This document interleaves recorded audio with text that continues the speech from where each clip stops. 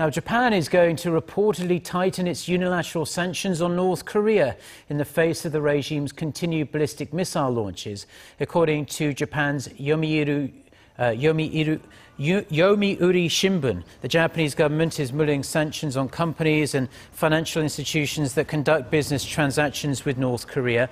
Tokyo is also planning to tighten the monitoring of vessels bound for the north to prevent the regime from acquiring materials that could be used to develop nuclear weapons and missiles. Japan has already banned all imports and exports with North Korea and is restricting the re entry of ethnic Korean residents in Japan with close ties to the regime.